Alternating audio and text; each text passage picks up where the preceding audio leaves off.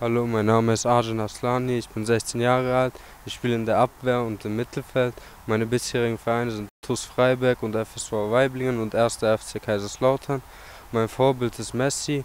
Ich spiele im FIFA immer Paris. Meine persönlichen Ziele sind, mich weiterzuentwickeln. Ziele mit der Mannschaft ist, so, so weit wie möglich zu kommen.